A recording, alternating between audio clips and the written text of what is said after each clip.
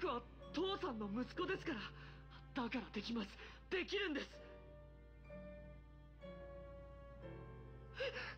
そそんな目で見ないでください。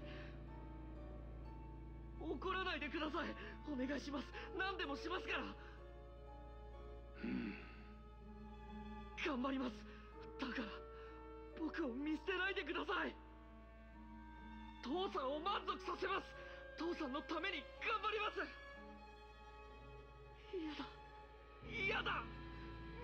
ないで見捨てないでください！